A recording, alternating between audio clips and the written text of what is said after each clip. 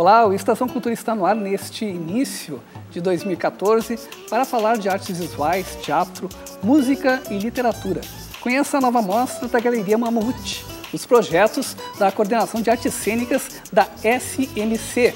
Tem também uma entrevista com o Ruben Pen sobre uma oficina de literatura. E começamos falando de fotografia, em especial da mostra da artista Bia Werther.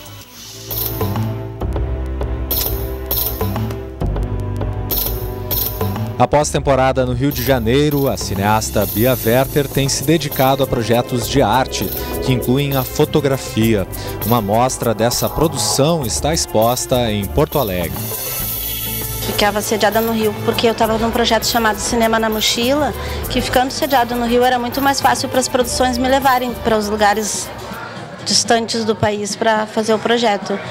E hum, daí quando eu cheguei aqui eu pensei, poxa, não, não sei agora como eu vou me entrosar e fazer minhas coisas, mas no fim aconteceu tudo muito rápido e muito fácil, e, assim, transitando super fácil nas coisas e conseguindo expor, aí eu, eu resolvi fazer o IA, por, por, achar que o meu cinema é muito mais arte do que cinema de sala, assim, tanto que hoje eu estou fazendo projeções esquisitas.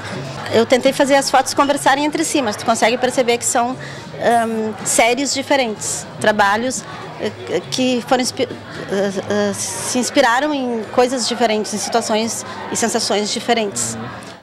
E foi no ambiente de um bar que a artista resolveu mostrar uma retrospectiva dos seus projetos. Essa mostra inclui peças que foram expostas em Paris em julho, como este autorretrato.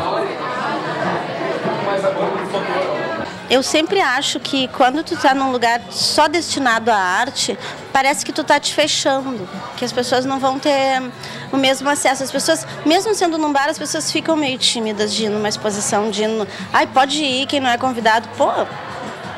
Então, eu acho que num bar é legal porque a pessoa, ainda mais aqui que o lugar é assim, é um lugar que sempre tem, full time tem exposições.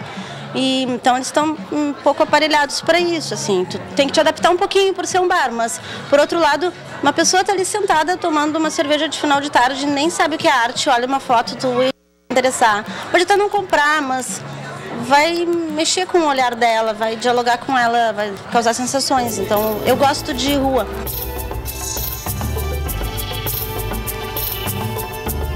A que o Domício, participa é a mais recente, chama Sol sobre Outro Lado, que é um projeto que eu comecei ano passado na usina do gasômetro e junto com um artista do Japão, que ele veio para Porto Alegre e, e, a gente ficava tentando mostrar uh, pessoas uh, mostrando o seu outro lado para assim, a minha ideia é mostrar que se tu olhar o outro lado, tu vai ver que todo mundo não é outro lado, todo mundo é a mesma coisa, todos somos iguais.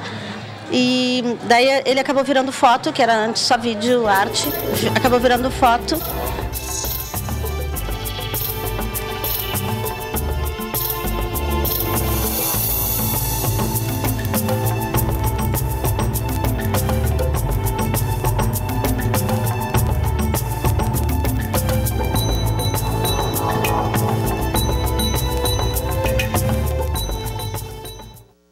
2014 começa com novidades na área cultural aqui no município. Entre elas está o edital para montagem e encenação de texto alemão para novos diretores. E o Breno Ketzer, que é coordenador de artes cênicas da Secretaria Municipal da Cultura, está aqui para falar desse edital. Tudo bem, Breno? Qual é a proposta eh, desse projeto? A proposta desse projeto é dar continuidade né, a um projeto de, de parceria da Secretaria da Cultura com o Instituto Goethe, que promove a montagem de um texto uh, de um dramaturgo alemão. No caso, esse ano é a quinta edição desse projeto e o dramaturgo escolhido é uma dramaturga, é a Rebecca Krischeldorf, e o texto se chama A Coisa no Mar.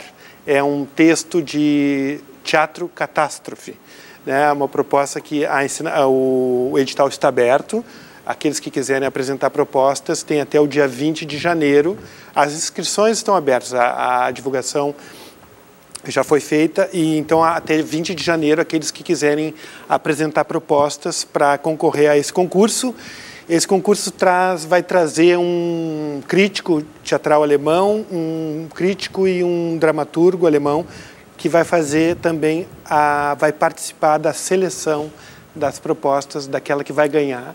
E ele é um, um, edital voltado a novos diretores. Também com isso vocês estão abrindo assim os espaços, né, as possibilidades isso. para que surjam novos nomes. Enfim. Novos nomes da cena teatral, né? Porto Alegre produz muitos uh, novos nomes, tem muitos talentos novos e esse esse esse projeto já de montagem já revelou alguns nomes bem importantes, né? Como uh, o Madureira, o João Pedro Madureira, João Pedro Madureira a a Tainá Dada. São a... pessoas que estão aí né, na batalha. Exatamente. E que, e que, a partir do projeto, puderam uh, mostrar o seu trabalho, enfim, né? Porque uh, essa proposta de ensinação a partir de um texto, né? Uh, é, o, o, diretor fica, ele tem a possibilidade de fazer o que ele bem entender com esse texto. É, né? com um orçamento, digo, digo já, com um orçamento, não é um orçamento muito uh, grande, expressivo, são 20 mil reais para fazer uma montagem, mas que é um desafio, é um desafio para um novo diretor colocar seu trabalho, uh, ter um texto à disposição e usar, uh, inovar, usar sua criatividade para produzir um espetáculo. O último contemplado foi Alexandre Dil, com um texto chamado A Noite Árabe, um, um, texto que teve uma repercussão, um trabalho que teve uma repercussão muito interessante, foi para Porto Alegre em Cena, ganhou o prêmio Braskem, foi indicado ao Açorianos, quer dizer, então temos aí um, um, projeto interessante, um projeto que, que incentiva esses novos Aliás, talentos. essa tem sido uma, uma das propostas da coordenação de artes cênicas, né?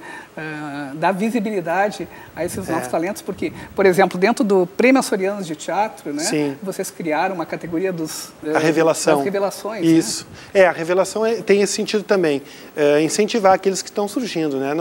É, nós temos uma, uma, uma, produção muito, muito qualificada, né, em quantidade e qualidade. E nós temos também grande, é, assim, pessoas que surgem, né? Então, incentivá-los também, é, recebê-los e dar visibilidade a, a, esses novos talentos é importante. Breno, que outros editais, né, a Secretaria Municipal da Cultura, em especial a Coordenação de Artes Cênicas, uh, está colocando aí uh, para as pessoas que quiserem uh, se arriscar né? Isso. E se colocar... Arrisque-se. arrisque-se mostrar arrisque o trabalho. É, em 2014, arrisque-se. É, no teatro, venha fazer teatro, faça teatro. A Secretaria da Cultura, a Coordenação de Artes Cênicas, tem vários projetos. Está aberto agora o edital de ocupação das salas de espetáculos, começou, está aberto a partir de hoje. Eh, vai até também o dia 20. Eh, nós vamos fazer a Escola de Espectadores, eh, fazer a nova edição da Escola de Espectadores. É um projeto gratuito que, que acompanha a montagem. Que começou ano passado. Né? Começou ano passado e acompanha montagens. Vai promover seis leituras dramáticas de textos emblemáticos da, dramatur da dramaturgia universal e vai uh, promover, uh, promover encontros nos, nos, teatros e debates. Nós vamos lançar o prêmio de dramaturgia Carlos Carvalho, a nona edição, edição local. Nós vamos fazer o prêmio uma Carlos uma edição local. Então os, os dramaturgos que têm textos uh, prontos, preparem-se e vamos. Porque o concurso de dramaturgia Carlos Carvalho ele é, uma, é uma, normalmente uma edição nacional. Participam pessoas de todo o país, é. né? A oitava edição já foi local, já foi eh, de, de dramaturgos de Porto Alegre e a nona vai ser também voltada àqueles uh, dramaturgos de Porto Alegre e já uh, estamos pensando, vamos pensar nessa proposta de montagem dos vencedores ou do vencedor para incentivar também as, as montagens daqueles que produzem textos aqui em Porto Alegre.